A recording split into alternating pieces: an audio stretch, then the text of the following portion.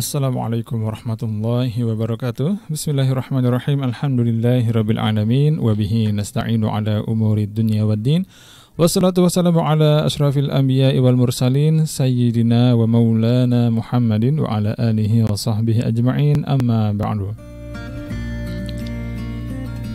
Apa kabar sahabatku semua di kesempatan sore hari ini? Semoga Allah senantiasa memberikan Anda uh, kesehatan dan kemudahan dalam segala urusan, terutama urusan ibadah yang akan menjadi bekal kita untuk terus dekat dengan Allah Subhanahu wa taala.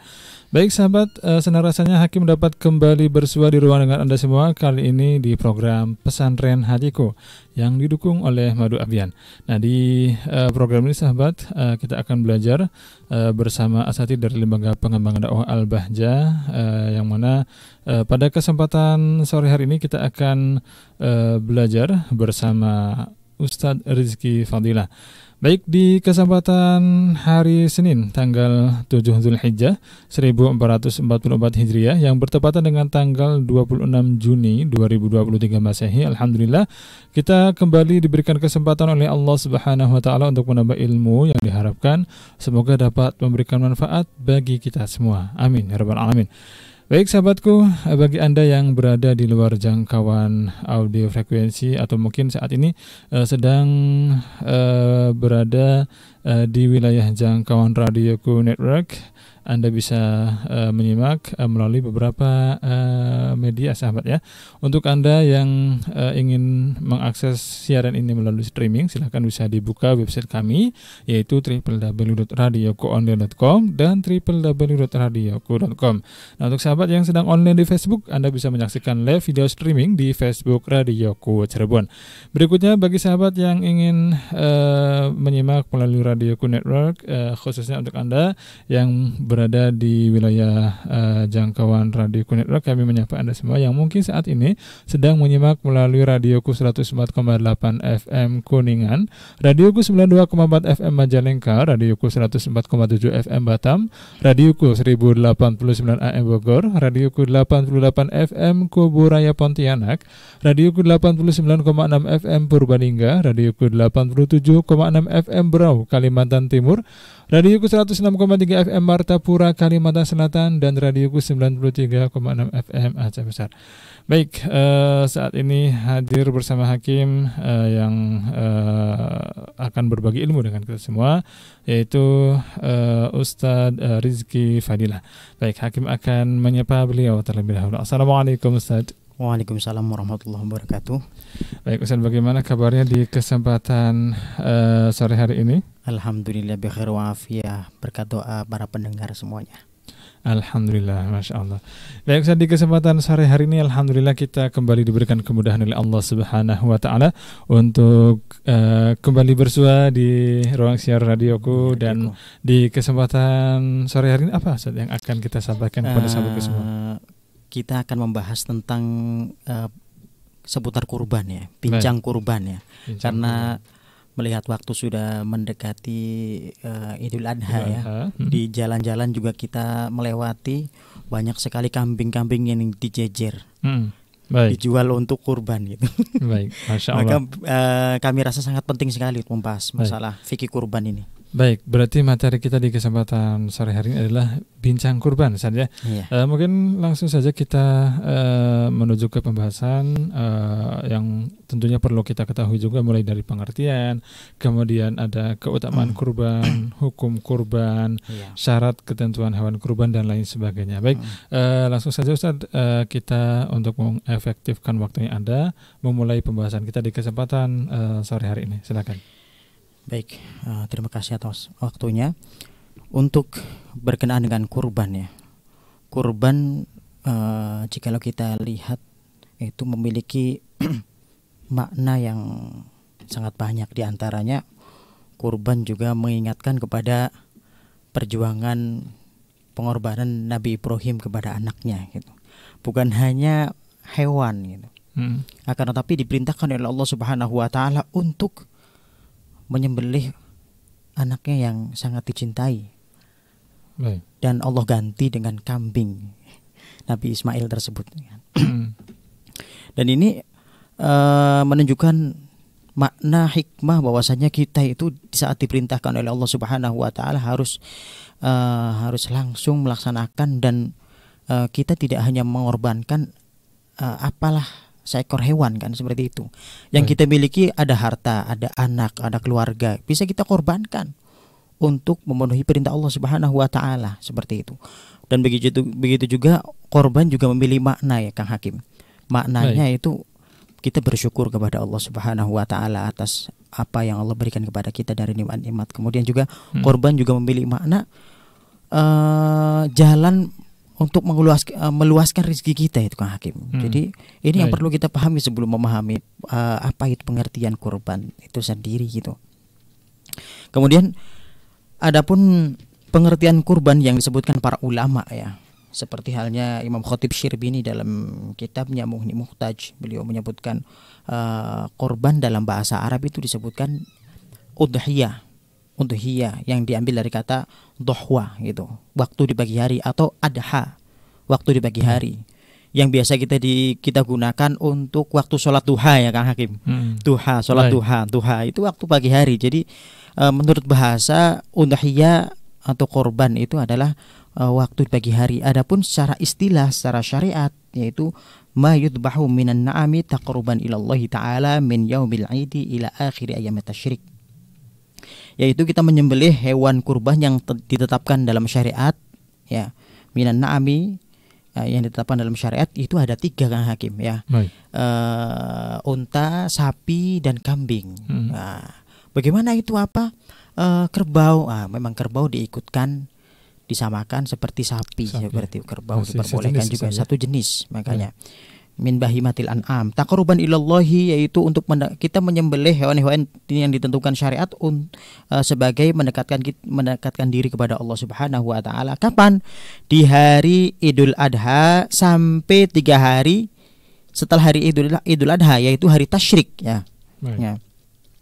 dan di dalam pengertian secara istilah ini menyebutkan uh, kriteria ya kriteria hmm. hewannya kemudian tujuannya untuk apa menyembelih tersebut kemudian batas harinya juga hanya empat hari ya kan hari Idul Adha dan tiga hari setelah Idul Adha seperti itu Kang Hakim dan uh, kalau ada pertanyaan gimana Ustadz uh, waktunya itu kalau ada orang menyembelih ternyata uh, sebelum hari Idul Adha mungkin malam harinya seperti apa Baik. kan seperti itu maka mm. uh, tidak ja, uh, uh, jatuhnya bukan sebagai kurban ya sebagai kurban Baik. tidak akan tetapi sebagai sodako biasa dia dapat pahala tapi pahalanya bukan pahala korban dong hmm. karena waktunya adalah Idul Adha yaitu setelah sholat, sholat Idul Adha hmm. tapi kalau di sembelihnya di malam hari Idul Adha wah ini tidak dianggap atau menyembelihnya setelah selesai uh, hari tasyrik setelah tiga hari hari tasyrik seperti mm -hmm. seperti itu bagaimana? Nah dilihat terlebih dahulu kalau seperti itu. Ini ini korbannya korban wajib atau korban sunnah seperti itu. Kalau korban uh, kalau korban sunnah maka tidak boleh seperti itu. Maka dianggap korbannya adalah bukan korban tapi sodako biasa kang hakim. Baik. Namun kalau korban wajib disembelihnya setelah hari tasyrik selesai hari ke-15 ya kan hmm. atau hari ke-14 maka kalau korban wajib tetap jatuhnya adalah kurban namun dia menjadi korban yang kodok gitu ya Baik. korban kodok dan dia kalau diakhirkan di hari 14 Hijjah itu karena sengaja hmm. maka dia berdosa dong Baik. kalau karena udur karena sebab apa lupa atau uh, ada halangan ya maka dimaafkan seperti itu Kang Hakim kita Baik Mungkin itu dari Baik, pengertian mungkin, ya Hakim ya. Mungkin perlu ini uh, diperjelas uh, apa itu kurban wajib dan apa itu kurban sunnah. Baik. Kurban wajib dan kurban sunnah sangat menarik ini. Hmm. Menarik sekali ini. Kurban wajib adalah jadi kurban aslinya adalah hukum kurban itu hmm. kita masuk hukum kurban ya. jadi hukum kurban aslinya adalah sunnah. Menurut kita madhab Syafi'i, madhab hmm. Syafi'i, Maliki dan Imam Ahmad itu sunnah. Hmm. Sunnah muakadah tapi terkadang itu kurban bisa menjadi wajib ke hakim. Baik. Kapan? Satu di saat kita bernadar. Hmm. Baik nadarnya itu nadar yang ada sangkut pautnya atau nadar yang tidak ada sangkut pautnya. Ya. Ya. Kedua bisa jadi karena maj'ul karena dia jadikan uh, dia jadikan korban itu menjadi wajib. Contohnya kata para ulama gini. Ini saya jadikan hewan ini menjadi hewan korban. Ini sudah menjadi yang wajib seperti itu. Nah, walaupun uh, nanti ada ulama yang mengatakan itu enggak itu menjadi tidak wajib seperti itu. Jadi uh, asalnya hewan uh, asalnya hukum kurban itu sunnah tapi bisa menjadi wajib itu karena nadar atau karena majul gitu. Baik. Nah, contohnya saya kalau seandainya lulus kuliah di tahun ini saya akan nadar kurban. Nah, berarti kurbannya menjadi wajib kan hakim seperti itu. Hmm. Maka jikalau dia punya korban wajib, tak tahunya kan hakim lupa di saat, di saat masuk Idul Adha. Hmm. Selesai hari tasyrik, hari ke-14 atau ke-15 dia ingat la ilaha illallah saya pernah nadar Aduh gimana wajib dikeluarkan nadarnya wajib dilaksanakan kurban nah, kurban tapi menjadi kurban kodok gitu kan baik karena waktunya sudah habis sudah gitu habis. Hmm. Nah, tapi jatuh tetap korban nah tapi dia juga uh, karena lupa kan ngomong hmm. orang manusia namanya lupa berarti kan Baik. tidak berdosa gitu kecuali kalau dia punya duit tapi dia sengaja nanti aja tanggal 14 Dhul Hijjah ah nih dosa ini. Baik. Sengaja. Seperti itu kan. Baik. Iya, baik, baik itu mungkin ya. Gitu. Mungkin untuk hukum kurban cukup jelas tadi ya sampai mm -hmm. di situ. Nah, ini uh, kan tadi terlewat mungkin keutamaan. Uh, keutamaan, kan ya. ya. Untuk hukum kurban juga uh, perlu kita singgung juga hukum kurban itu sekaligus ya. Hukum hmm, kurban itu menurut uh, tiga madhab ya, Syafi'i, kemudian Maliki dan Hanabila itu hukumnya sunnah muakkadah gitu. Hmm, Sunnah muakkadah. Akan tetapi menurut Imam Abu Hanifah hukumnya wajib. Wajib. Oh, begitu. Wajib. Baik. Wajib. Dan kalau ulama udah sepakat jumhur bahwasanya kurban untuk Rasulullah, Rasulullah itu wajib kurban. Tapi hmm. untuk kita umatnya ini berbeda berbeda ulama berpendapat. Hmm. Imam Abu Hanifah mengatakan wajib, tiga mata mengatakan sunnah muakkadah. Namun sunnah di sini harus kita bahas juga. Sunnah seperti apa sih? Baik. Kriterianya menurut para ulama ternyata sunnahnya di situ disebutkan para ulama ada yang mengatakan sunnah ainiyah, ada yang hmm. mengatakan sunnah kifayah gitu. Baik. Apa sih maksud sunnah kifayah dan sunnah ainiyah? Sunnah ainiyah adalah sunnah menyembelih korban untuk setiap orang per individu gitu. Jadi saya tertuju untuk melakukan sunnah. Hakim tertuju apa tertunjuk untuk melakukan sunnah hmm. seperti itu. Baik. Nah, dan sunnah kifayah seperti apa? Sunnah kifayah digambarkan oleh Imam Khotib Syirbini itu bagi orang yang uh, bagi orang yang menjadi salah satu anggota keluarga gitu kan Hakim. Di hmm. salah satu anggota keluarga itu jikalau ada salah satu dari mereka yang melaksanakan kurban, maka dia sudah melaksanakan sunnah kifayah. Hmm. Menjadi apa ya? Uh, apa namanya ya yang Uh, yang sudah gugur iya iya yang, yang dia yang Baik. menggugurkan sunnah di dalam hmm. keluarga tersebut untuk melaksanakan korban yang hmm. mewakili kan mewakili baik jadi di dalam keluarga itu kalau ada salah satu dari mereka mungkin ayahnya atau saudaranya atau ibunya yang korban maka dia adalah orang yang mewakili untuk melaksanakan sunnah di keluarga tersebut maka gugurlah sunnah tersebut dengan dilaksanakan satu orang itu makanya hmm. sunnah kifayah tapi kalau uh, ada juga sunnah aininya per individu gitu. Tapi seyogianya kita melaksanakan korban itu sunnah aininya dulu dong. Bisa nggak kita satu per orang per orang ini per individu melaksanakannya? Hmm, baik. Oh kalau bisa, alhamdulillah paling lebih utama itu kan. Kalau nggak bisa menjadi sunnah kifayah seperti itu. Hmm. Nah perlu kita ketahui juga kang Hakim bahwasanya sunnah kifayah atau sunnah aininya ini uh, tertuju untuk siapa sih? Apakah setiap orang muslim dan muslimah disunahkan untuk kurban? Tidak juga, lihat dulu dong gitu. Baik. Apakah dia muslim? Ya, kriterianya satu muslim. Kemudian berakal, hakim. Baik. Kemudian balik. Hmm. Kemudian juga uh, memiliki lebihan harta gitu. Baik. Memiliki lebihan harta dan uh, kemudian juga uh, rusyud, dia paham. Uh, jadi orang yang berakal, orang gila berarti tidak diminta untuk korban kan gitu. Hmm. Ya kan? Balik. Berarti anak kecil yang belum balik ya kan belum diminta untuk korban seperti itu. Hmm. memiliki kelebihan harta. Memiliki kelebihan harta ini kan hakim di hari Idul Adha dan tiga hari setelah hari Idul Adha. Dia ada duit nggak? Ada duit lebihan dari nafkah untuk dirinya keluarganya dan anak-anaknya. Hmm. kalau ada cukup buat beli kambing misalkan dua juta lima ratus misalkan. Hmm. ya disunahkan seperti itu kan hakim. Baik. ah Mungkin itu Hakim. Baik, uh, kita cukupkan dulu untuk segmen kali ini. Hmm. Kita akan lanjutkan Baik. lagi pembahasan mengenai kurban ini setelah uh, jeda dan untuk sahabat semua. Uh, kembali kami sapa Anda yang tadi uh, menyimak melalui Radio Ku Network ya. Uh, kami sapa Anda. Uh, ada yang mungkin uh, perlu kami ralat ya. Jadi uh, yang sudah konfirmasi kepada kami untuk relay uh, acara ini ada enam uh, radioku network yaitu radioku Majalengka, radioku Bogor, radioku Pontianak, radioku Batam, radioku Aceh Besar dan radioku Martapura. Baik kita akan melanjutkan sahabatku belajar bersama Ustaz Rizky Fadila setelah jeda nanti dan untuk Anda semua pastikan Anda tetap bersama kami. Uh, tentunya ada banyak yang uh, bisa kita pelajari dan ini sangat bermanfaat khususnya bagi kita uh, bagi kita semua yang butuh bekal ilmu untuk bisa mengamalkan uh, sunnah kurban dengan baik uh, agar keutamaannya yang kita dapatkan uh, yang nanti akan Allah berikan kepada kita uh, bisa kita dapatkan dengan uh, maksimal karena kita sudah mengikuti uh, sesuai dengan apa yang uh, ada ketentuan yang sudah disampaikan oleh Rasulullah uh, dan juga uh, dijelaskan oleh para ulama. Baik, uh, tetap bersama kami di Radio Ku Inspirasi Spirit Hati.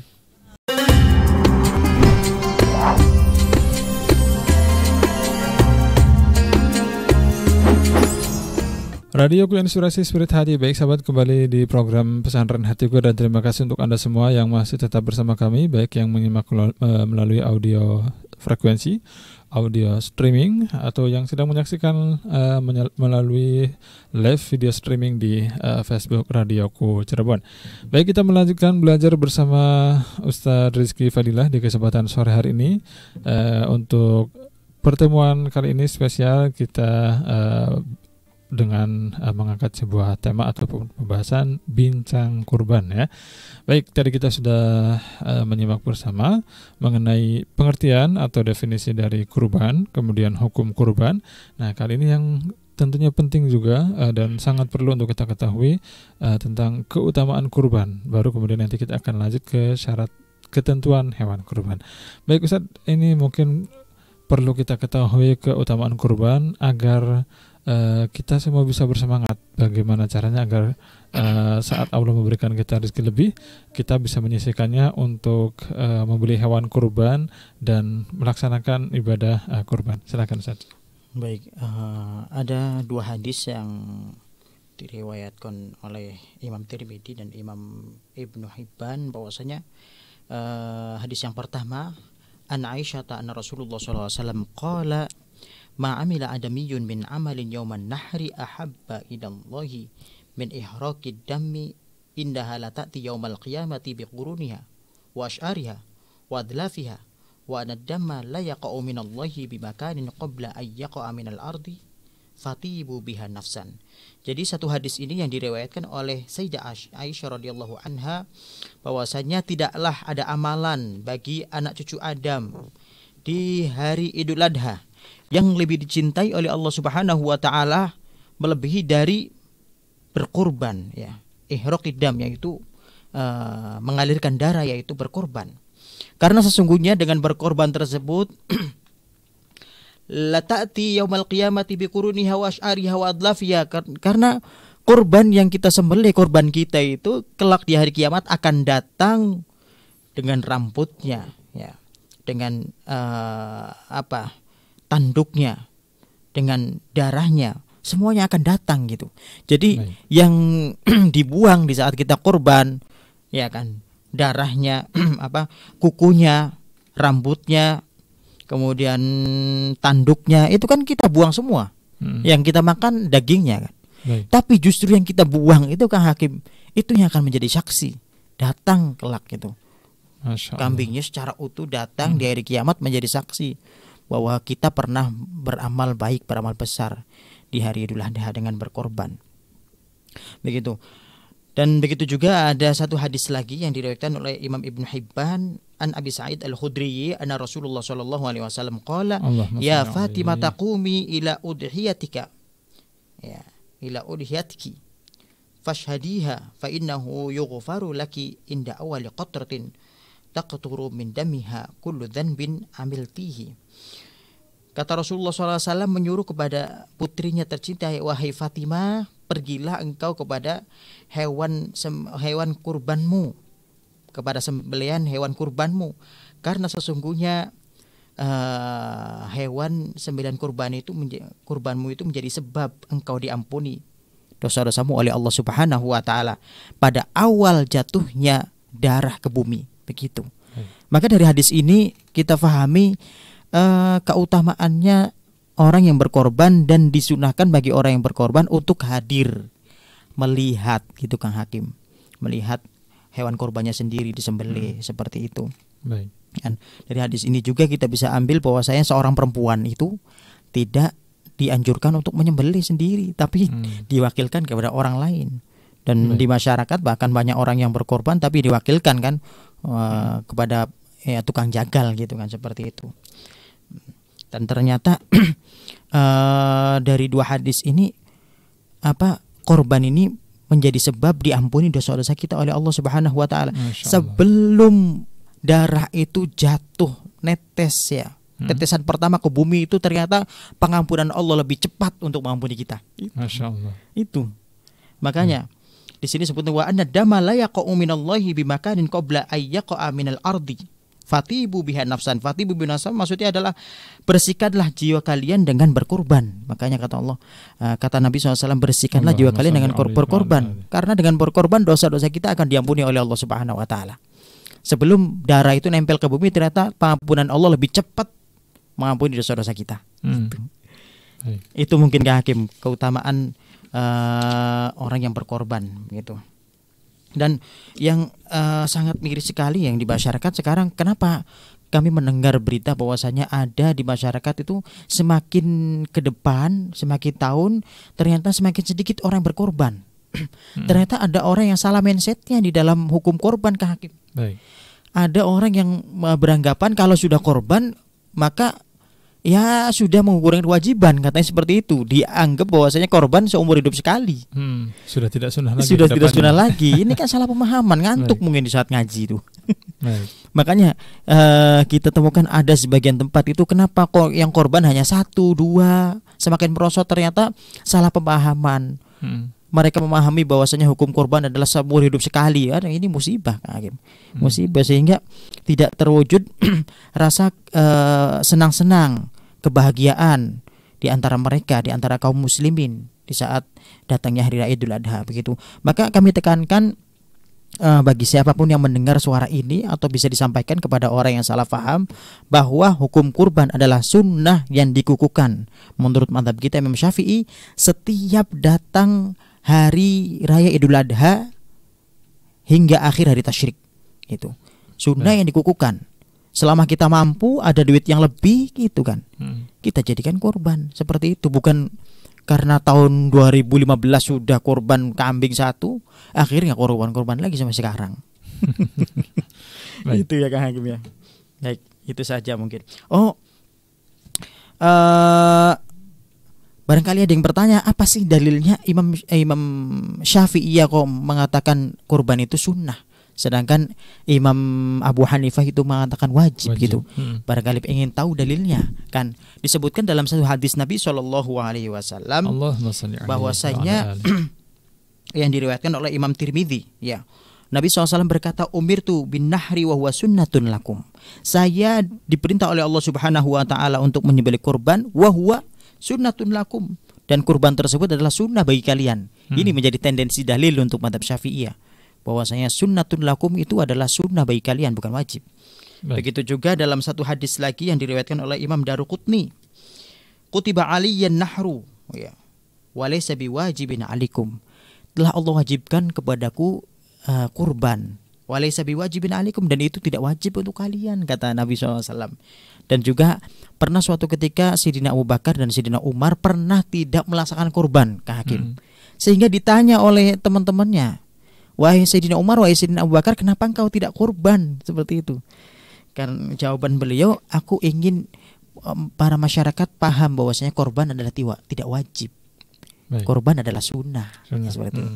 Tapi Imam Abu Hanifah uh, Hanafiyah memiliki dalil yang yang bisa menjadikan tendensi juga kuat juga. Mereka beranggapan bahwa sekurban ini wajib seperti itu.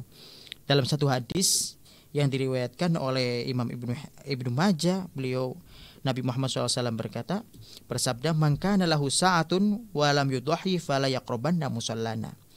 Barang siapa yang memiliki kelebihan rezeki, kelebihan harta, maka lahu sa'atun wa lam yudhi tapi dia tidak berkorban, pelit. Punya harta Baik. tapi pelit, gak ngeluarin hmm. untuk korban. Fala yaqrabanna musallana, jangan deket-deket musola saya kata Nabi. Ada orang kaya, ada orang punya harta lebih tapi nggak mau ngeluarin itu korban. Fala ya korban musolana jangan deket-deket musola saya. Ini Masya makanya Allah. kata Imam Abu Hanifah ini wajib korban itu sampai Nabi hmm. meng, mentanbih, mengapa ya? memperingatkan memperingatkan mewanti-wanti hmm. awas ini yang punya duit yang punya harta lebih tapi nggak mau korban jangan deket musola musola saya ini dalil hmm. yang pertama dalil yang kedua adalah Nabi tidak pernah meninggalkan sekalipun dalam melewati Idul Adha tidak melaksanakan korban. Dan ini dua dalil ini menurut Hanafiyah maka menjadi wajib sebenarnya. Tapi menurut hmm. kita kan orang Indonesia mengikuti Syafi'iyah maka sunnah, Kang. Baik.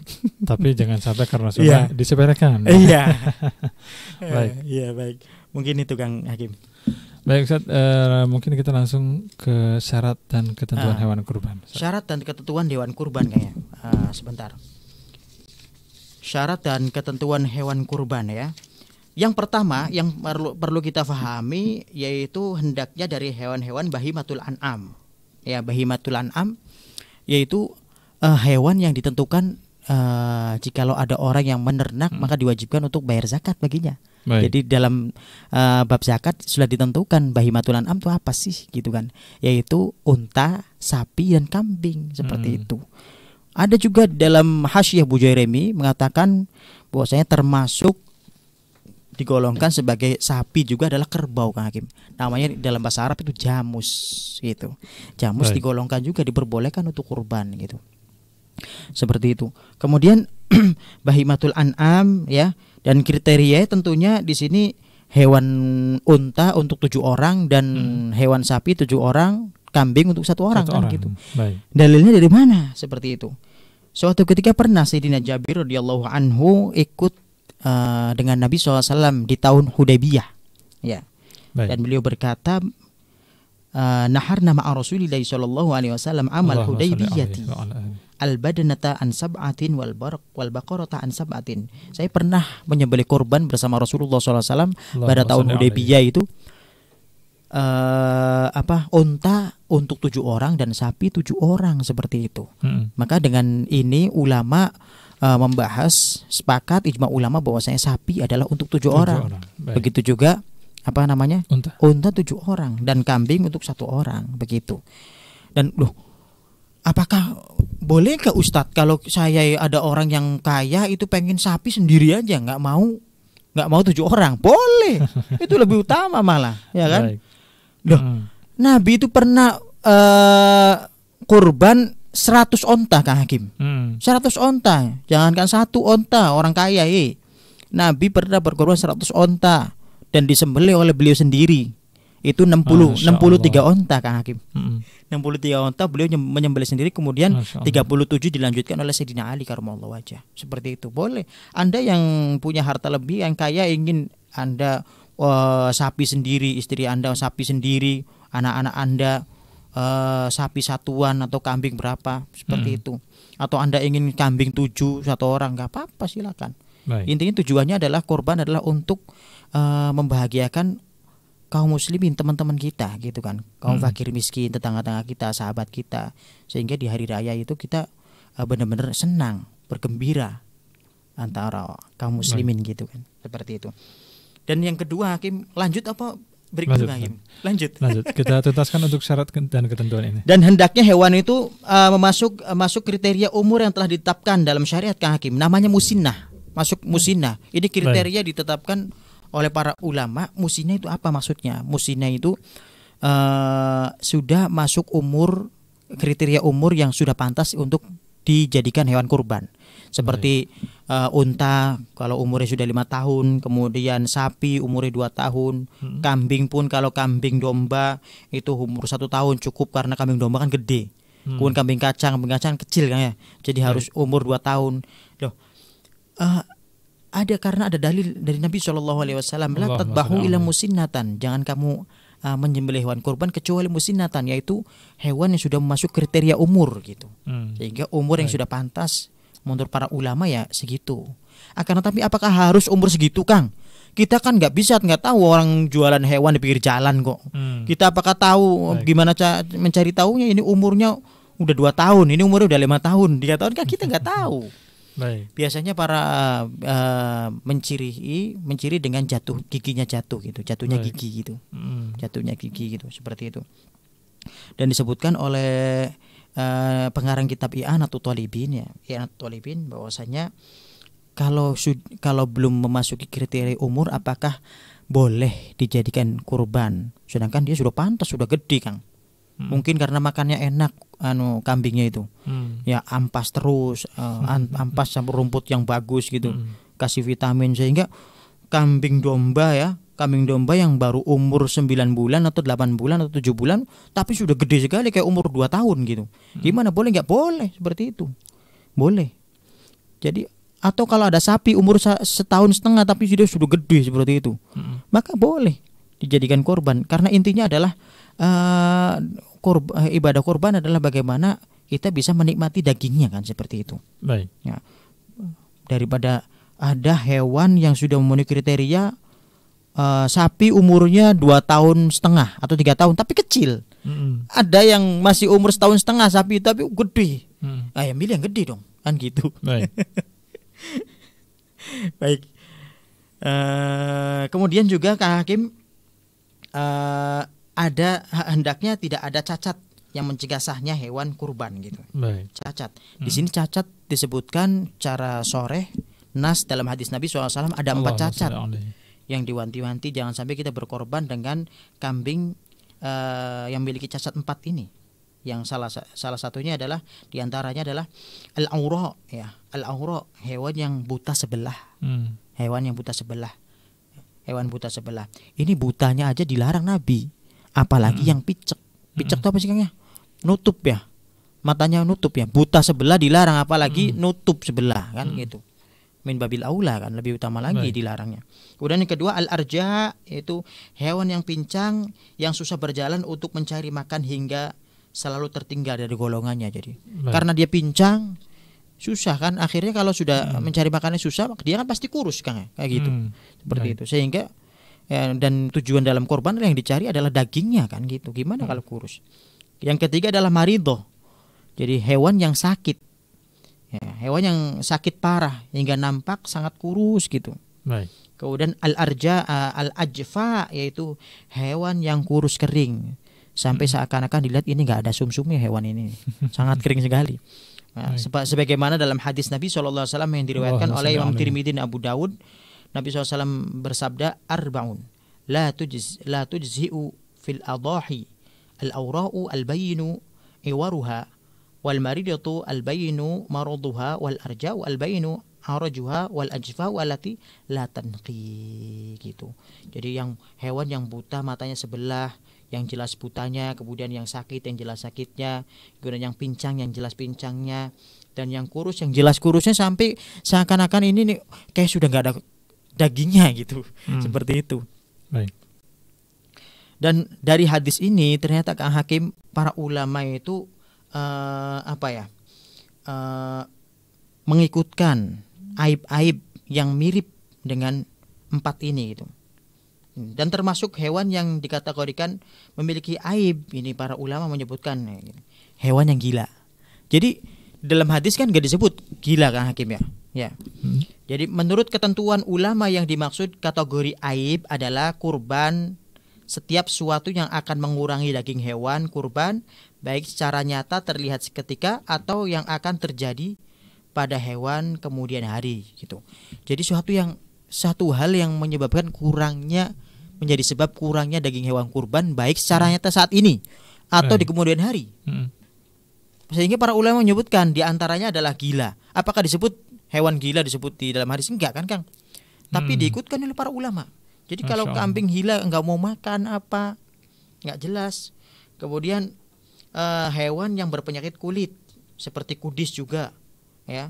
Ketiga hewan yang stres contohnya seperti tidak mau makan walaupun di eh, digembalakan. Kemudian hewan yang terpotong telinganya atau ekornya. Nah ini ada ada khilaf kang Hakim. Hmm. ini hewan yang terpotong telinga atau atau ekornya nih ada madhab lain yang memperbolehkan gitu. Kemudian hewan yang hewan yang buta kedua matanya. Kedua matanya yang disebut dalam hadis kan satu mata aja. Tapi kedua mata justru lebih lebih lagi Baik. akan dilarangnya. Mungkin itu kang Hakim. Baik. itu saja Hakim. Kemudian pembahasan selanjutnya eh, syarat ketentuan penyembelih kan seperti Baik. itu Baik, terima kasih untuk pembahasan di segmen ini. Kita akan lanjutkan lagi sahabat belajar bersama Ustaz Rizky di segmen berikutnya. Tetap bersama kami di Radioku Inspirasi Spirit Hati.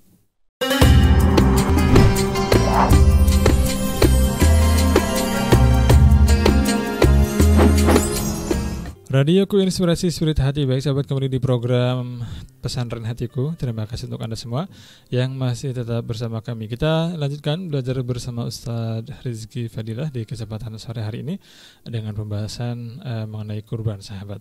Baik kita berikan waktu kepada beliau Untuk eh, melanjutkan pembahasan. Silakan Ustadz. Baik, eh, sekarang kita pembahasan ya, syarat ketentuan penyembelihan kurban. Terkadang kita kan di saat menyembelih kurban kan ada yang menyembelih, baik itu ustadz atau jagal gitu atau orang eh, di masyarakat setempat yang paham ya, paham akan eh, apa sih yang wajib dilakukan bagi orang penyembelihan kurban seperti itu. Jadi eh, di sana ada hal yang perlu diperhatikan. Yang pertama adalah eh, orang yang menyembelih tersebut adalah beragama Islam ya, beragama Islam. Ya. Dan eh, disunahkan bagi orang yang berkorban kalau memang dia memi- memiliki keberanian dan memiliki ilmunya bagi laki-laki menyembelih sendiri Kang Hakim. Begitu. Baik Ya, sebagaimana yang dilakukan Rasulullah SAW menyembelih sendiri. Tapi kalau eh, dia punya ilmu tapi tidak punya keberanian kan gitu, masih gemeter kan gitu. Atau Baik. eh, punya keberanian tapi tapi tidak punya ilmu ya sudah diwakilkan aja sembelihnya eh, orang yang paham gitu. Dan orang paham ini tidak harus ustadz ya, tidak harus ustadz. Ada orang paham menyembelih gitu kan. Ya, yang penting hmm, memotong hulkum dan mari salur pernapasan dan salur eh, makanan saluran makan minum hewan tersebut sudah sah. Maka eh, syaratnya harus harus Islam ya. Ya, orang Islam yang menyembelihnya. Bahkan disebutkan para ulama yang penting adalah yang menyembelih ini orang yang memiliki eh, dinus. Apa sih dinus samawi itu? Yaitu ima Islam, ima oh, bahkan orang Nasrani dan Yahudi pun boleh. Karena Hmm. dia dinus samawi ya. Kecuali orang yang penyembah api ya, Majusi pemajusi itu nggak boleh Baik. menyembelih gitu kan. Tapi sembelih sembelihan mereka masih tetap boleh gitu. Kalau pun ada orang yang mewakilkan kepada orang yang beragama di Nusamawi ya seperti itu. Tapi tetap Baik. niat nggak boleh dong. Niat nggak boleh dari orang kafir, Hmm. orang yang beragama di Nusamawi ya kan. Ya itu Eh, niat harus tetap dari kita seperti itu. Maka kami himbau kepada anda yang berkorban ya di saat anda mewakilkan penyembelihannya, niatnya, lihat dulu dong siapa dianya, lembaganya bener apa enggak, ya sudah anda tahu belum, punya ilmu apa enggak yang menyembelih seperti itu kan. Baik Ya. Kemudian niat dalam berkorban Kang Hakim. Baik Ya. Eh, niat dalam berkorban juga sangat diperhatikan ini. Jika kurbannya adalah kurban sunnah, maka niat boleh dilaksanakan di saat hendak melaksanakan korban, hendak disembelih atau sebelumnya, boleh. Ya. Hmm. Akan tetapi jika lo korbannya adalah korban wajib sebagaimana yang kami singgung ya sebelumnya, korban wajib adalah bisa karena nazar ya kan? Karena nazar Hmm. atau karena menentukan ya. Nazar nazar nazar atau karena karena majul gitu kan. Ya kan? Baik. Maka jikalau uh, kurbannya karena nazar tidak wajib bagi dia untuk niat kembali karena Hmm. dia sudah berniat di awal nazarnya saya bernazar ingin berkurban kalau saya naik kelas lah itu sudah niat. Maka uh, niatnya sudah sudah dilaksanakan. Tapi tetap disunahkan dong di saat uh, kurban hendak disembelih. Tetap sunnah diulang lagi niatnya seperti itu. Nah dan gimana sih cara niat? Apakah dia kurban sunnah atau kurban wajib? Nah perlu diperhatikan juga sun, uh, dalam niat itu uh, tidak harus dengan bahasa Arab. Bahasa apa pun yang hmm. anda bisa. Sunda Jawa ya atau bahasa luar negeri gitu hmm. iya bebas uh, sesuai yang anda uh, pahami seperti itu. Kalau kita ingin mengetahui syighot atau niat dengan bahasa Arabnya seperti ini. Nawaitu an udhahi an nafsi sunnatan lillahi ta'ala. Ini kalau kurbannya adalah kurban sunnah untuk diri sendiri Kang Hakim. Ada orang pengen kurba sunnah untuk diri sendiri, berarti niatnya Nawaitu an udhahi an nafsi sunnatan lillahi ta'ala. Saya niat uh, berkorban untuk diri saya sendiri sunnah karena Allah Subhanahu wa taala itu itu kalau korban untuk diri sendiri dan sunnah gitu. Tapi kalau korban untuk diri sendiri dan wajib niatnya seperti apa? Nawaitu an udahi an nafsi fardalillahi taala. Saya niat berkorban untuk diri saya sendiri sebagai korban wajib karena Allah Subhanahu wa taala. Ini korban wajib, korban yang karena nadar itu Kang Hakim. Hmm, ya. Baik. Kemudian yang ketiga adalah cara mewakilkan kurban, ya kan? Cara niat mewakilkan gitu kan. Contohnya ke hakim, saya korban. Uh, nanti uh, ke hakim yang nyembelihin dan ke hakim yang niatin ya, boleh nggak? Boleh gitu. Gimana caranya? Yaitu nawaitu an udahi, nawaitu an an, an udahya an fulan ya kan, an fulan lillahi ta'ala, sunatan lillahi ta'ala. Saya niat uh, menyembelihkan korban untuk fulan, untuk Kang Rizki misalkan ya. Kang hmm. Hakim menyembelihkan korban dengan niatnya saya niatkan saya menyembelih korban uh, untuk Kang Rizki sunnah lillahi taala atau kalau wajib ya wajib fardu lillahi taala itu. Seperti itu. Dan apa sih bagi orang yang menyembelih ya apa sih yang harus dipotong-potong gitu? Ternyata yang harus dipotong tuh dua aja Kang Hakim. Hmm. Yaitu uh, hulkum dan mari. Apa itu hulkum? Hulkum itu saluran pernapasan dan mari adalah saluran untuk makan dan minum hayawan gitu. Hmm. Dua hal aja. Uh, jadi terus gimana motongnya apakah dari atas atau dari bawah? ini Baik. ini hanya dari sistem sistem aja ya. Hmm. Uh, bagaimana caranya aja konsep motongnya seperti apa? Ini bukan dari syariat ini kalau motongnya dari atas atau dari bawah ya. Kata kata hmm. tukang jagal sih motongnya kalau dari bawah lebih baik. Karena apa? Biar darahnya turun ke bawah kan gitu. Hmm. kalau dari atas mulainya bisa nanti apa ya hmm, apa ya nyiprat apa sih? Hmm. mercikan darahnya langsung ke baju kita gitu. Hmm. yang motong uh, hewan kurban gitu. Dari bawah dulu terus ke atas dari bawah ke atas terus atas ke bawah gitu biar darahnya langsung ke bawah ini hanya gimana aja sistematika motong gitu kan hmm. Baik. Kemudian alatnya apa sih yang dipakai itu alatnya itu kan alat bagi para penyembelih. Alatnya kata para ulama apa saja yang tajam yang bisa melukai itu. Mau parang ya kan, mau arit, celurit atau mau terserah. Hmm. Tapi biasanya orang pakai apa sih kan pakai golok yang kayak ya. Ya. Baik, golok yang tajam hmm, ya gitu ya. tajam. ya. Golok yang khusus untuk menyembelih gitu. Oh, kalau kalau pakai besi yang benar tajam ya nggak apa-apa kan gitu. Asalkan uh, suatu yang tajam yang bisa melukai. Kecuali tapi ada kecuali kan Hakim. Hmm. Ada kecuali tiga sebagaimana yang disebutkan dalam hadis itu gigi ya hmm. nggak hmm. boleh gigi, kemudian nggak boleh dengan kuku, nggak boleh dengan tulang gitu. Pasti ada hikmahnya itu kenapa Nabi kok melarang memotong dengan tiga hal tersebut apa hmm. menyembelih dengan tiga hal nggak boleh seperti itu. Uh, mungkin itu Kang Hakim uh, berkenaan dengan uh, menyembelih ya uh, kriteria ketentuan bagi penyembelih hewan kurban. Seperti Baik. itu Kang Hakim. Baik, saya terima kasih untuk pembahasan di segmen uh, kali ini. Kita akan lanjutkan lagi uh, di uh, segmen berikutnya. Masih ada waktu insya Allah untuk sahabat semua pasti akan tetap bersama kami di Radio Ku Inspirasi Spirit Hati.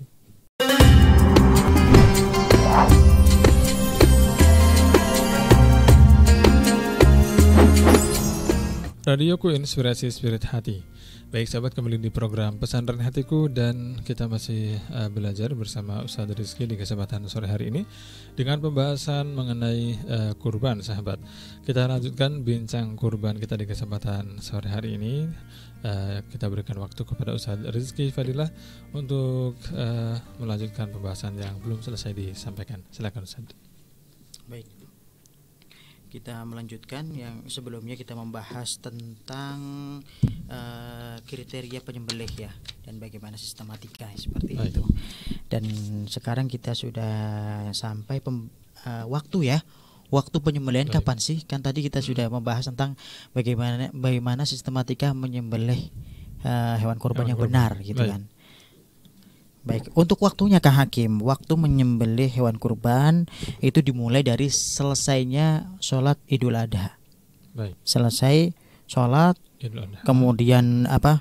Sholat kemudian khutbah, ya kan? Sudah selesai, ya pulang ke rumah, ganti baju, langsung datang ke tempat penyembelihan kita sembelih itu. Tapi kalau malam hari, malam Idul Adha, ya malam malam hari rayanya maka tidak boleh seperti itu. Baik atau uh, uh, mal uh, hari-hari setelah hari tasyrik maka nggak boleh. Maka waktu penyembelihan uh, kurban hanya empat hari satu hari di hari raya hmm. kemudian tiga hari setelah hari raya yang dinamakan hari tasyrik, yaitu akhir yaum akhir ayam tasyrik yaitu setelah terbenamnya matahari. Nyampainya masuknya waktu maghrib di hari terakhir hari tasyrik ya kan Baik. gitu pada tanggal ke-13 ya hmm. ya tanggal ke-13 ada orang uh, hari uh, pertama uh, hari raya nggak punya duit hari hmm. kedua nggak punya duit hari ketiga laku tanahnya ke hakim hmm. laku Baik. tanahnya disunahkan bagi dia untuk mengeluarkan hartanya untuk Kurban. berkurban seperti itu Baik. loh Ustadz Bagaimana kalau kurban itu dilaksanakan di malam hari? Nah, di malam hari hari-hari tasyrik nih Kang Hakim, ya kan? Hari di malam hari hari-hari tasyrik. Di hari-hari tasyrik, nah menurut madhab Syafi'iyah sama mm, begitu juga Hanafiyah ya, ya. Dan juga uh, ada qaul dari Hanabila ya. Sebagian pendapat uh, Imam Hanabila bahwasanya menyembelih di malam hari adalah makruh. makruh. Boleh. Mm -hmm. Jadi ini hari ini misalkan hari ini hari raya. Mm-hmm. nah kemudian malam harinya nih nyembelih. Mm. seperti itu. Boleh hanya saja makruh. Apa sih ilatnya makruhnya? Karena malam hari itu waktunya orang untuk istirahat. Ngapain mm. nyembelih? Kan gitu seperti itu. Baik. ya. Dan waktunya orang nunggu daging kambing kurban juga. Daging kurban itu nunggunya itu apa? Siang kan? Untuk dimasak kan masa malam-malam seperti itu makanya hukumnya makruh menurut madzhab kita Syafi'i begitu juga Hanafiyah dan Qaul ya dari Imam Hanabilah kan seperti itu madzhab Hanafilah. Akan tetapi sedangkan menurut Imam Malik dan Imam Ahmad tidak diperbolehkan menyembelih di malam hari, yakni tidak sah kurbannya. Ya. Tidak sah kurbannya di malam hari menurut dua imam ini. Nah, uh, berarti uh, di luar madhab Imam Syafi'i ada yang mengatakan tidak sah seperti itu ya. Tapi itu makruh menurut madhab kita. Dalilnya apa sih? Karena dalilnya adalah suatu ketika Nabi Shallallahu Alaihi Wasallam melarang oh, menyembelih kurban di malam hari raya. Di malam hari raya Nabi SAW melarang sehingga uh, Imam Malik dan uh, Imam Malik dan Imam Ahmad ini mengkiaskan ke hakim. Hmm. Karena malam hari raya melarang, begitu juga malam-malam hari tasyrik itu dilarang juga haram juga. Kenapa dalilnya? Itu dikiaskan kata mereka. Seperti itu. Kalau kita menurut mata Syafi'i makruh kan gitu Kang Hakim ya. Baik. Dan mungkin itu ya Kang Hakim e, berkenaan dengan waktu, waktu penyembelihan. Adapun pembahasan selanjutnya adalah penyaluran daging kurban Kang Hakim ya. Baik. Penyaluran, pembagian daging kurban. Jadi sebelum kita membagi daging kurban juga alangkah baiknya kita harus tahu terlebih dahulu nih kurban tersebut kurban wajib atau kurban sunnah. Hmm. Nah itu tugas panitia jangan asal sembelih sembelih sembelih kemudian bagi bagi bagi enggak. Ini harus tahu dulu ini kurban wajib atau kurban sunnah kan gitu. Kalau kurban uh, kalau kurban wajib ya mungkin karena nadar kan Hakim ya. Karena nadar saya bernadar kalau uh, lulus kuliahnya saya uh, kurban atau nggak ada nggak ada sangkut eh, nggak ada apa nggak eh, nggak ada perjanjian sama sekali. Saya ingin kurban tahun ini. Ah itu Hmm. juga termasuk nadar juga. Baik. wajib juga menjadi. Bagaimana sih kalau kurbannya kurban wajib? Adapun orang yang berkurban karena nadar wajib menyedah, menye- menyedekahkan seluruh daging kurbannya. Tidak boleh bagi orang yang berkorban tersebut memakannya menjualnya mengambil manfaat dari hewan kurban tersebut mengambil ba- bagian binatang untuk dijadikan sebagai upah.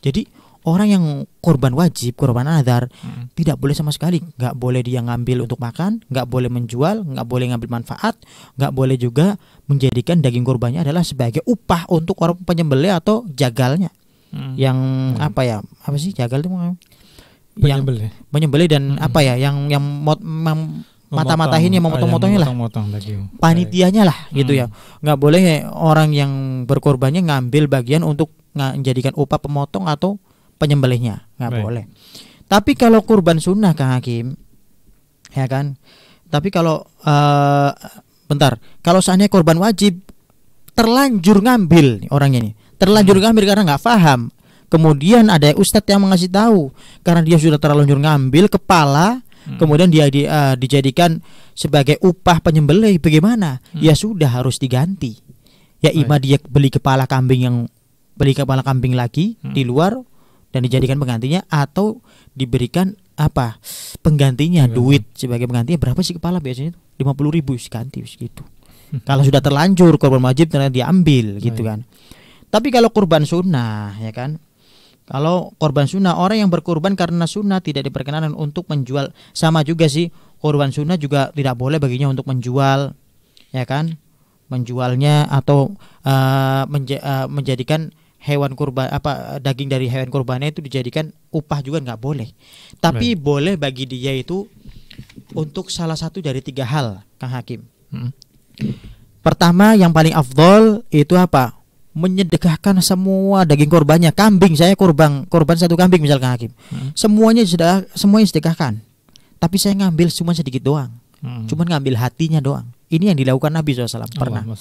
Nabi eh, semua korbannya diberikan kepada orang kaum muslimin. Nabi ngambil hati doang. Kemudian dimakan, dimasak, dimakan. Ini yang pertama. Yang kedua adalah satu per tiga dari hewan korban kita kita eh, buat kita dan dua per tiganya untuk kita sedekahkan. Hmm. Ini yang kedua, Hakim. Baik. Kemudian yang ketiga adalah sepertiga untuk diri kita sendiri, keluarga kita. Hmm. Sepertiga lagi untuk eh, orang sodako kaum orang-orang miskin. Sepertiga lagi kita hadiahkan. Hadiahkan maksud di sini apa? Untuk orang kerabat, teman-teman gitu, baik yang kaya gitu. Baik. Jadi sepertiga buat keluarga, sepertiga disodokan, sepertiga dihadiahkan. Seperti itu. Jadi kalau kurban sunnah ada tiga anu tiga pilihan kan Hakim. Ya. Loh, kalau ada orang korban sunnah tapi nggak ngambil salah satu dari tiga ini seperti apa? Wajib mengeluarkan daging tersebut. Harus ada yang dikeluarkan, harus ada yang dibagikan. Hmm. Harus baik setengah, seperempat ya. Nggak boleh disimpan sendiri. Jadi makanya korban itu dia tidak hanya mendapat pahala dia berkorban saja, tapi harus ada yang dikeluarkan untuk orang-orang fakir miskin atau tangganya, kerabatnya seperti itu Kang Hakim. Baik. eh kita kemudian memasuki ini Kang Hakim. Eh, mungkin kita menyinggung sedikit tentang upah ya.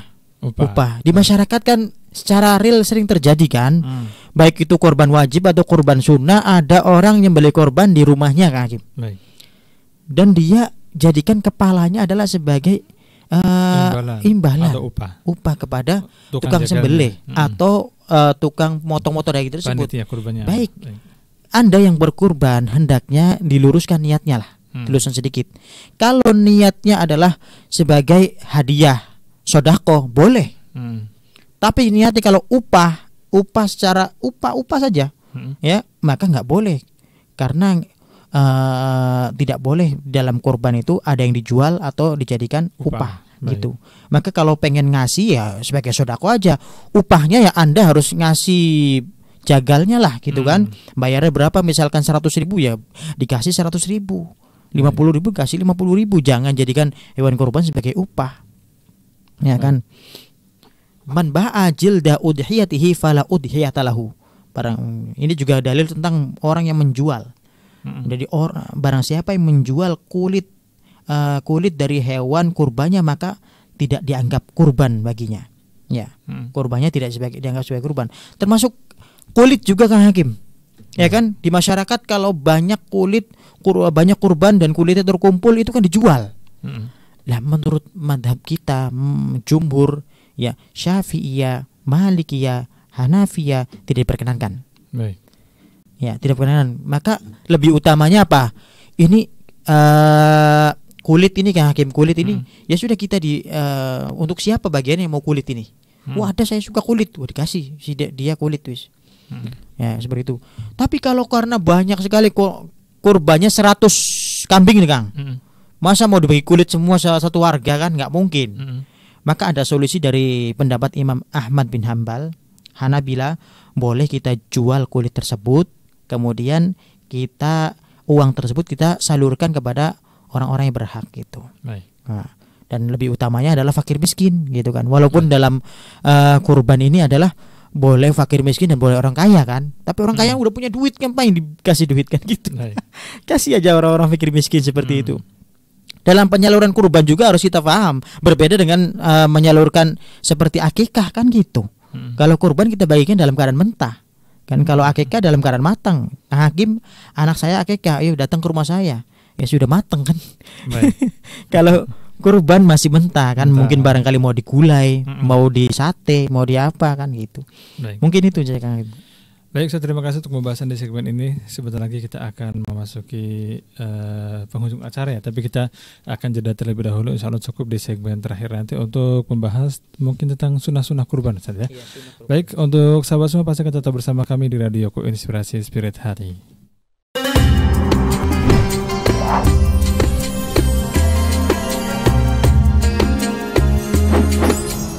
Radio Ku Inspirasi Spirit Hati. Baik sahabat kembali di program Pesantren Hatiku Kita eh, sudah berada di penghujung acara Tapi sebelum kami mengambil kesimpulan dan menutup eh, acara ini dengan doa eh, Kita terlebih dahulu eh, memberikan waktu kepada Ustadz Rizky Untuk menuntaskan sedikit dari pembahasan yang belum selesai disampaikan. Baik kami berikan waktu kepada beliau untuk menuntaskan pembahasan. Silakan Ustadz.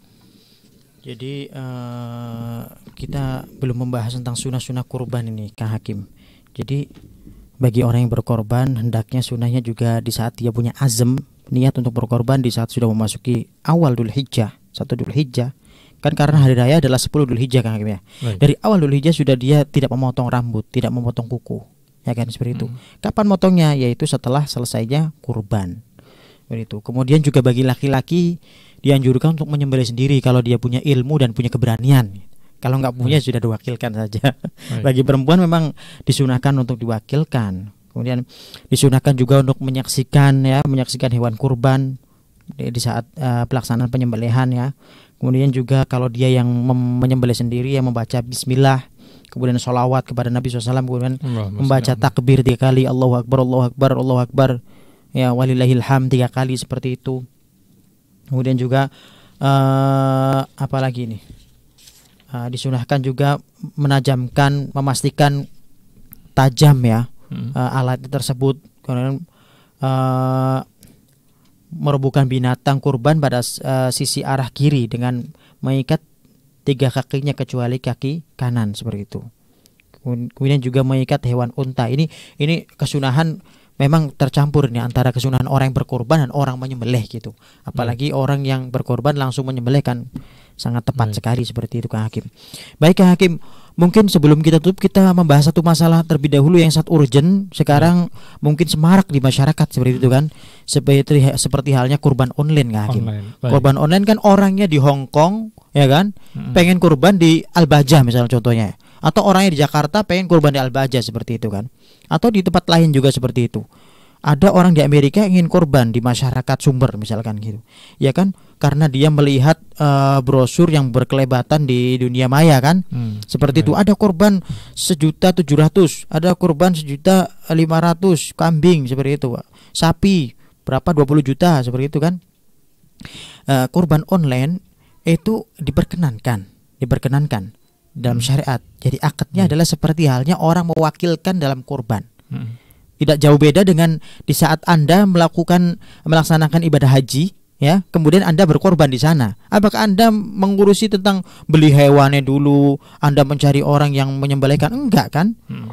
anda di sana cuma bayar untuk berkurban seperti itu kan ada yang mengurusi di sananya. Kemudian ada juga apabila ada orang yang uh, melanggar di saat melaksanakan haji tidak melaksanakan fardu rukun haji, maka wajib membayar dam. Yaitu ya, yang disebut sebagai apa ya? Teb, uh, dam itu uh, bayaran yang harus dia bayar karena dia meninggalkan rukun haji atau fardunya haji, ya kan? Maka dia bayar untuk uh, menyembelih unta atau kambing misalkan dia kan bayar saja tidak tahu dia kambingnya seperti apa, ontanya seperti apa. Intinya mewakilkan seperti itu. Dan begitu juga korban online. Orangnya di luar kota sana, tapi korbannya ingin di sini. Dia tidak menyaksikan uh, tidak menyaksikan kambingnya, tidak tahu belinya. Jadi mewakilkan semuanya kepada lembaga yang ia percayai gitu loh Kang Hakim. Baik. Mewakilkan dari segi pembeliannya, penyembelihannya, penyalurannya, dia hanya membayar melalui rekening ya misalkan 2 juta 700 misalkan seperti itu ya dan uh, kami himbau juga bagi Anda yang ingin melaksanakan korban online, Anda harus paham terlebih dahulu ini lembaganya sudah jelas belum. Kalau belum jelas jangan sampai Anda latah ikut-ikutan gitu. Baik. Anda harus tahu lembaganya ini lembaganya siapa, bagaimana di dalamnya, ya kan? Apakah ada orang yang paham dalam penyembelihannya, dalam penyalurannya? Seperti itu. Jangan sampai Anda salah dalam uh, melaksanakan korban online. Ternyata lembaganya tidak amanah. Hmm. Seperti itu harus amanah. Dan bagi uh, peringatan juga bagi uh, para panitia juga hendaknya melakukan uh, akadnya dalam korban online ini. Misal kambing harganya sejuta lima dua juta lima ratus misalkan. Kemudian uh, kita lebihkan sejuta enam ratus. Tapi semuanya bukan kita namai sebagai harga kambing tidak hmm. akan tetapi kita beri perincian bahwasanya harga kambing adalah sejuta lima ratus dan seratusnya eh dua juta lima ratus dan seratusnya adalah sebagai operasio, operasional. operasional karena di uh, korban itu butuh ada yang nyembelihkan butuh ada yang motong-motong butuh ada yang menjaga di malam hari sebelum dipotong kan gitu mengambil uh, beli kambingnya juga butuh mobil nyewa mobil mobilnya butuh bensin itu kan ada operasional seperti itu maka jangan sampai kita uh, tulis semuanya itu harga kambing segini. Kan gitu. Tanpa di tanpa ada penjelasan di situ adalah ada perinciannya harus biar Baik. paham akadnya adalah seperti itu. Dalilnya seperti apa? Boleh nggak seperti itu? Boleh. Suatu ketika pernah baginda Nabi Shallallahu Alaihi Wasallam uh, berkorban 100 onta, bukan hanya satu onta, 100 onta dan 63 onta disembelih dengan tangan beliau sendiri tangan beliau sendiri yang mulia. Kemudian setelah selesai 66 onta di, dikasihkanlah alatnya tersebut kepada Sayyidina Ali. Sayyidina Ali karamallahu aja. Kemudian dilanjutkan 37 hewan onta tersebut disembelih oleh Sayyidina Ali. Maka ini hmm. adalah hukumnya mewakilkan. Baginda Nabi tidak menyaksikan sama sekali 37 onta itu disembelih oleh Sayyidina Ali. Kan hmm. seperti itu. Dan Anda pun kalau korban online apakah Anda menyaksikan penyembelihannya? Tidak kan? Anda menyaksikan pembelian tidak kan? Seperti itu. Pembagiannya pun tidak. Nah, makanya sama seperti mewakilkan uh, dalam berkorban baik penyembelihan, penyaluran dan uh, pembeliannya juga seperti itu mungkin Kak Hakim ya. Baik. Uh, Baik Ustaz, uh, karena sudah di penghujung acara, iya. waktunya kita untuk uh, menutup acara ini. Uh, sebenarnya mungkin masih ada banyak hal yang bisa kita perbincangkan. Iya. Hanya saja uh, keterbatasan waktu uh, membuat kita harus segera menyudahi uh, kebersamaan di kesempatan sore hari ini dengan, hmm. dengan kesimpulan dan doa. Silakan. Baik, uh, intinya kesimpulannya di 10 awal Dhul Hijjah ini mari kita sambut seruan dari Allah Subhanahu Wa Taala, seruan dari baginda Nabi Shallallahu Alaihi Wasallam untuk melaksanakan sunnah yang sangat agung sunnah kurban kurban. Itu bagi Anda yang memiliki kelebihan harta, ayo mari kita keluarkan harta kita untuk berkorban. Ya, Sayyidina Ibrahim diberitakan Allah Subhanahu wa taala menyembelih anaknya. Kita yang kita keluarkan hanya beberapa juta untuk berkorban seperti itu.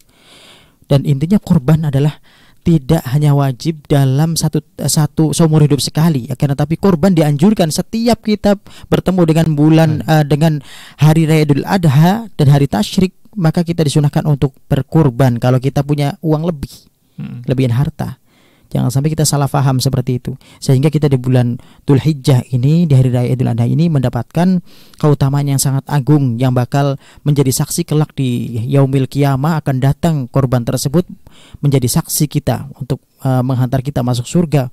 Datang dengan lengkap dengan uh, hewan tersebut membawa uh, dengan rambutnya, kukunya, hmm. kemudian tanduknya seperti itu dan dengan berkorban ternyata kita mendapatkan pengampunan oleh Allah Subhanahu wa taala lebih cepat pengampunan Allah berikan kepada kita daripada satu tetesan pertama darah yang menetes menempel di bumi di saat disembelih hewan kurban kita. Seperti hmm. itu.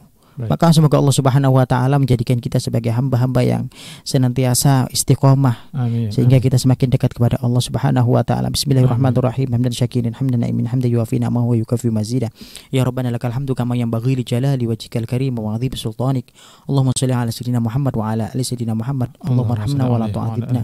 وانصرنا ولا تحضلنا وعافنا ولا تمرتنا وأكرمنا ولا تهنا وأثرنا ولا تؤثر علينا إنك على كل شيء قدير اللهم إنا ضعفاء فقوينا وإنا أذلة فأعزنا وإنا الفقراء فقرنا اللهم اكفنا بحلالك عن حرامك وأغننا بفضلك عما سواك.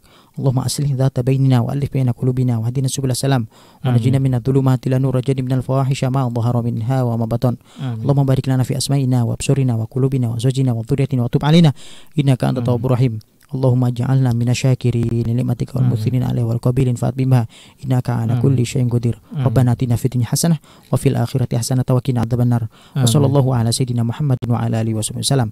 بفضل سبحان ربك رب العزة عما يصفون. وسلام على المرسلين والحمد لله رب العالمين. بسير الفاتحة. أعوذ بالله من الشيطان الرجيم. بسم الله الرحمن الرحيم. الحمد لله رب العالمين. الرحمن الرحيم. مالك يوم الدين. na'budu wa iyyaka nasta'in. Ihdinas siratal mustaqim. Siratal ladzina an'amta عليهم غير المغضوب عليهم ولا الضالين آمين Baik, saya terima kasih atas uh, ilmu yang telah disampaikan. Semoga bermanfaat untuk kami semua, khususnya Amin. agar kami uh, bisa uh, mengamalkan uh, anjuran ataupun sunnah untuk berkurban uh, dengan baik uh, dan tentunya ini menjadi semangat bagi kita semua. Uh, untuk sahabat tentunya yang sudah memiliki harta yang cukup untuk membeli hewan kurban agar bisa segera berkurban, uh, tentunya dengan bekal ilmu yang uh, sudah dipelajari pelajari semoga uh, kurbannya menjadi uh, lebih uh, berkah dan uh, mendapatkan banyak manfaat baik di dunia maupun di akhirat. Amin ya rabbal alamin. Baik, terima kasih juga untuk sahabatku atas kebersamaannya. Kami mohon maaf atas segala kekurangan untuk Radio Network. Terima kasih atas kerjasamanya. Kita tutup dengan doa kafaratul majlis. Subhanakallahumma bihamdika asyhadu an la ilaha illa anta astaghfiruka wa atubu ilaik. Wassalamualaikum warahmatullahi wabarakatuh. Waalaikumsalam warahmatullahi